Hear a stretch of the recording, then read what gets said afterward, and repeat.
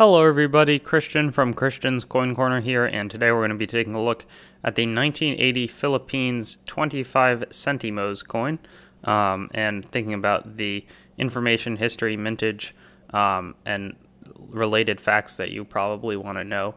Um, in terms of the design, though, we have Juan Luna y Novicio here featured.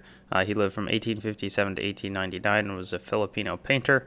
And that says Republic of the Philippines. Um, and then on this side, it says Ang Bagong Lipunan, which means the new society. Uh, it says the Central Bank of the Philippines. And then it has the logo of the uh, Central Bank of the Philippines uh, in, in the middle.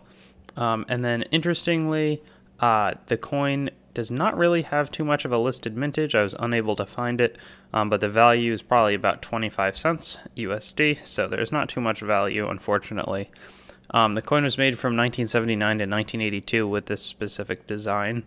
Uh, the composition is copper nickel, so um, there's not much value in the copper or the nickel. It weighs 4 grams. It's 21 millimeters in diameter. The thickness is 1.6 millimeters. Um, it's round, obviously, and it has since been demonetized, so it's no longer available to be used um, as spending currency. Uh, 100 sentimos would make one peso in the Philippines, so this is like a quarter. Um, and with that being said, hope that you enjoyed the video learning about this Filipino coin. Thanks for watching the video. If you haven't already, I'd encourage you to like, comment, and subscribe, and check out my other channel, Treasure Town, for more related coin information. Have a great day, and I'll see you on some of my other videos.